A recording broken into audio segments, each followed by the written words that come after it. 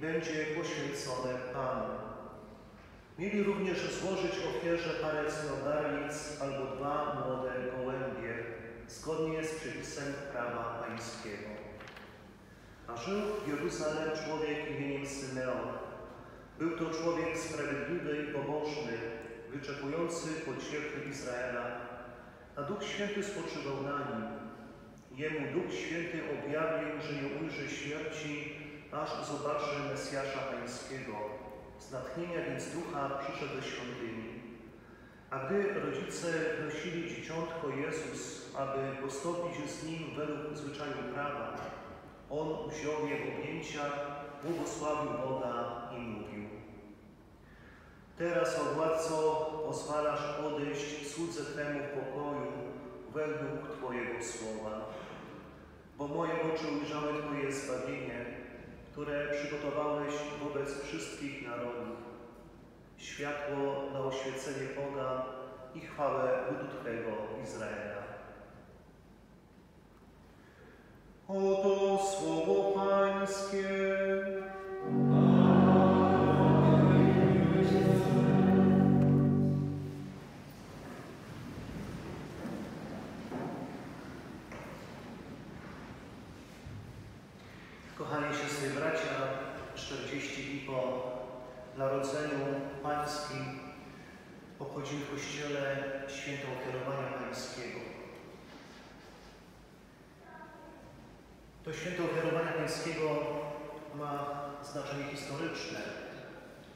Zwyczaj ofiarowania był związany z konkretnym wydarzeniem w Izraelu. Był związany z ofiarowaniem pierworodnych synów izraelskich w Egipcie. Miało to miejsce wiele wieków temu, za czasów Mojżesza, który wyprowadza Izraela z niewoli egipskiej. Kiedy to anioł śmierci przychodzi przez Egipt, uśmierca dzieci egipskie, a ocala dzieci izraelskie. Dlatego też Pan Bóg tak chciał, aby każde dziecko pierworodne, wszystko co pierworodne należało do Niego.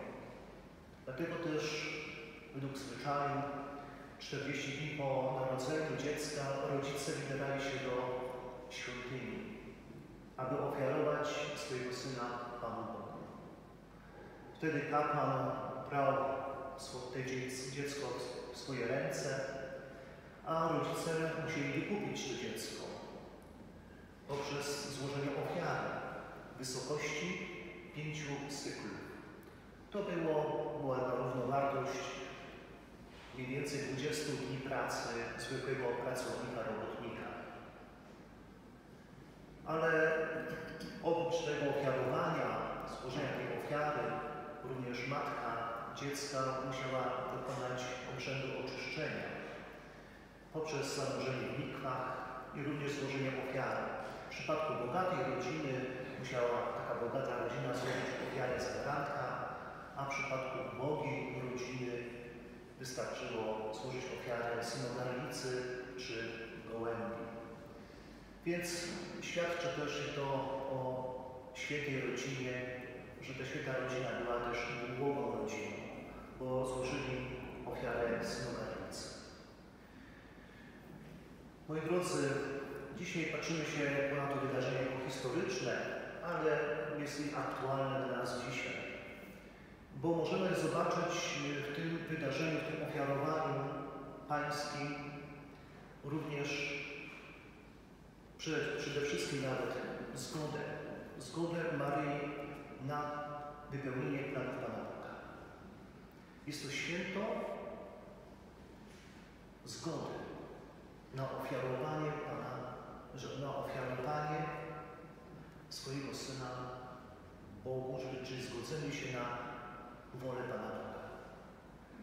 Bo mimo, że Maryja opłatę za wykupienie syna, to i tak ten syn nie będzie do niej należał, że nadal będzie należał do Boga. Maria zgadza się na to. Zgadza się na to, że ten syn będzie oddany Bogu na zawsze, że nie będzie do niej należał. Maria zgadza się na to, że nie zapewni syn jej spokojnej starości, nie zapewni jej normalnego życia tutaj na ziemi. Popatrzcie się na, to, na tę historię. Oczywiście Maria również utrzymuje to objawienie, że jej syn stanie się znakiem sprzeciwu. I również na to Maria się zgadza. Zgadza się również na to, kiedy Symeon jej mówi, że miecz boleści i duszy przeszyje. I tak się też stało. Maria zgodziła się na to, by być przy synu do końca. Kiedy wszyscy go opuścili, ona trwała przy synu. Kiedy go fałszywie oskarżono, kiedy został posądzony, kiedy był biczowany, wyszydzony, kiedy szedł na drogę krzyżową, w tej drodze krzyżowej na Golgotę, by oddać za nas swoje życie. Maria zawsze była przy synu. Maria uczy nas w tym też wydarzeniu, na czym polega ofiarowanie. Polega na zgodzie. Również i my wyrażamy tą naszą zgodę, bo każdy z nas również jest prowadzony przez Kościół, jesteśmy prowadzeni przez całe swoje życie po to, aby oddać siebie Panu Bogu. I to się dokonuje już od momentu naszego chrztu świętego, bo chrzest święty jest tym pierwszym wydarzeniem, kiedy rodzice przy, przyprowadzają nas do kościoła, ofiarują nas, prezentują Panu Bogu. Już w tym momencie nie jesteśmy tylko dziećmi naszych rodziców, ale stajemy się dziećmi Pana Boga. Mówimy wtedy, stajemy się dziećmi Bożymi. Więc mamy sakrament Chrztu Świętego, czym jest Komunia Święta, zjednoczeniem, zjednoczeniem z Bogiem przez przyjęcie Komunii Świętej. I każdy sakrament nas do tego prowadzi, do ofiarowania, dawania siebie.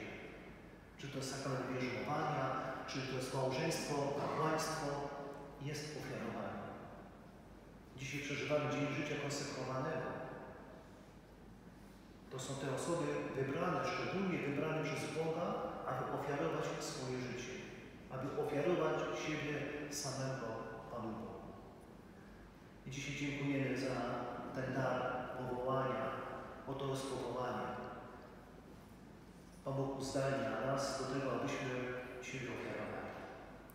I tak patrzymy się na historię chociażby też papieża Franciszka, który jak wstępował do jezuitów, miał pragnienie, miał marzenie pojechać na misję. Jorge Mario Bergoglio chciał być misjonarzem. Miał marzenie być misjonarzem w Japonii, ale z powodu słabego zdrowia musiał zrezygnować z tych planów. Pokrzyżowały te jego plany, jest słabe zdrowie. Ale Pan wiedział. Wiedział, że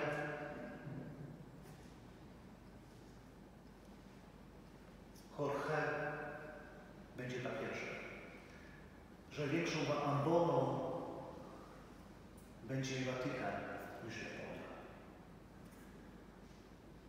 I też to nas uczy, abyśmy byli wsłuchani w głosy Pana Boga, głos Pana Boga. Mamy może jakieś marzenia i bardzo dobrze, mamy prawo marzyć. Możemy mieć marzenia, ale byśmy tymi marzeniami nie przesłaniali planów Pana Boga. Dzisiaj chciałbym mówić też o to, co się dzieje ostatnio w naszej parafii, bo też oczywiście przeżywamy jako osoby konsekrowane dzisiaj to jest nasze też święto i wiem, że moje życie musi być ofiarą. I wiem, rzeczywiście ostatni czas szczególnie poświęcam na to, aby uruchomić przedszkole naszej parafii. Wierzę w to, że przedszkole już powstanie już niedługo, 1 września. Już jest to miejsce przygotowane, plany wszelakie porobione i już je możemy realizować. Tutaj na ekranie pojawiają się zdjęcia. Zobaczcie, jak to przedszkole będzie wyglądało. Oczywiście może troszeczkę się różniło, bo to są plany. Tam było też na pierwszym zdjęciu, widzieliście logo przedszkola i była nazwa. Nazwa przedszkola Boży Domek.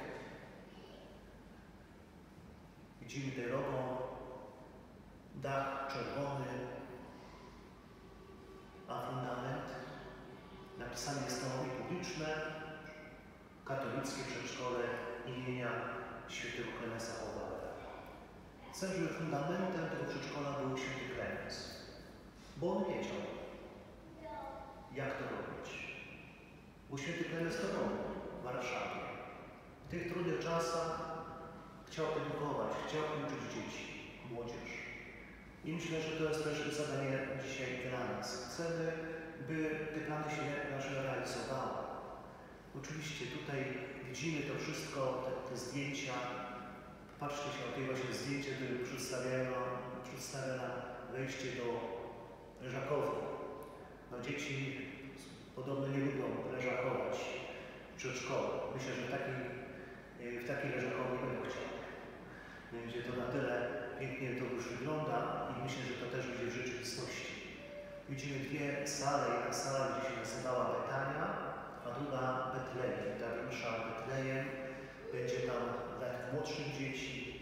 W każdej z tych, sal będzie takie szczególne miejsce, jakby kapliczka, gdzie, gdzie krzyż, obraz Matki Bożej Fatimskiej z dziećmi, a z drugiej strony to, co przedstawia ta sala, czyli jak będzie to Betania, przyjaciele Pana Jezusa, Maria, Marta i Łazarz, a Betlejem, Dzieciątko Jezus. Więc każda ta sala będzie miała też, myślę, że też pięknie będzie wyglądała, będzie pewnie i też już yy, widzimy tą szatnię troszeczkę inaczej niż to widzimy na tym zdjęciu. Już mamy zaprojektowane również yy, wszystkie meble yy, do tego przedszkola, toaleta. Chcemy, żeby właśnie był klimat domu, wszędzie tam, gdzie będziemy wchodzić do pomieszczeń, do tego pomieszczenia, gdzie, gdzie, gdzie są sale czy do przedszkola, będziemy mieli wrażenie, że wchodzimy do domu. I tak chcemy, żeby to przedszkole e, wyglądało. Dlaczego przedszkole? Dlaczego chcemy iść w tym kierunku? Nawet wielu z Was o tym nie mówi, że boli nas to, że nie ma młodzieży w kościele. Nie tylko teraz, bo jest czas pandemii, ale również wcześniej. Moi drodzy, myślę, że nie możemy się już łudzić, że ta młodzież wróci do kościoła. Oczywiście chciałbym się mylić, ale mam takie wrażenie, że może tak się stać, że ta młodzież nie wróci do kościoła. I już musimy, musimy myśleć o przyszłości. Możemy tutaj żyć sobie spokojnie. Oczywiście nie wiem, jakie będą owoce, bo nikt nie wie, ale trzeba zaryzykować, trzeba coś robić i daj Boże, że będziemy widzieć za ileś lat owoce tej naszej posługi, tej naszej pracy. To nas dzisiaj dużo kosztuje, nie tylko mnie, bo jest wiele osób zaangażowanych, chociażby ta wizualizacja, ktoś siedział ileś godzin i, i po nocach nawet, żeby można było to wszystko przygotować. Ile osób się angażuje, będzie jeszcze będzie czas, kiedy będę mógł podziękować tym osobom indywidualnie, tutaj nawet z tego miejsca za ich wkład, tę pracę, którą wykonali.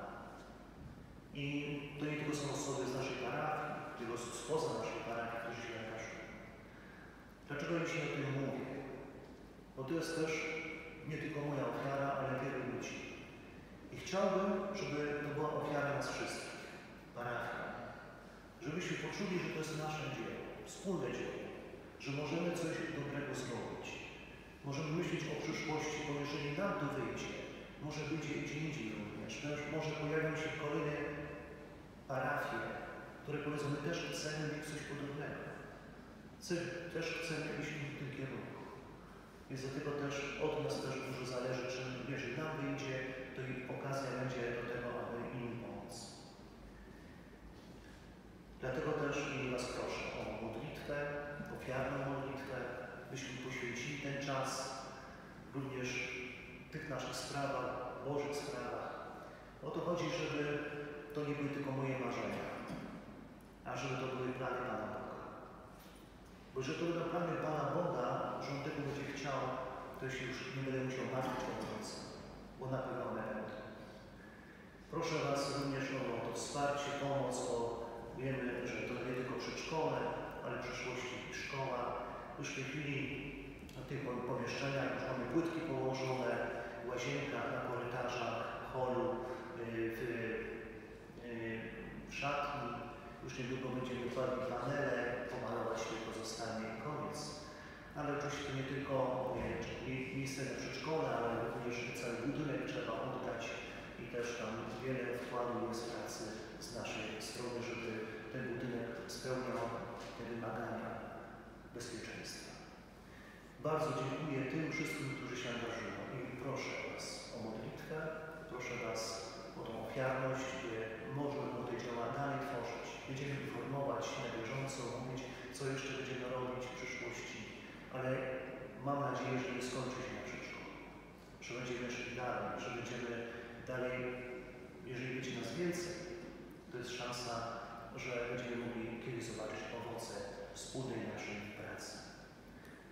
Pan dzisiaj udziela w tym święto ofiarowania pańskiego.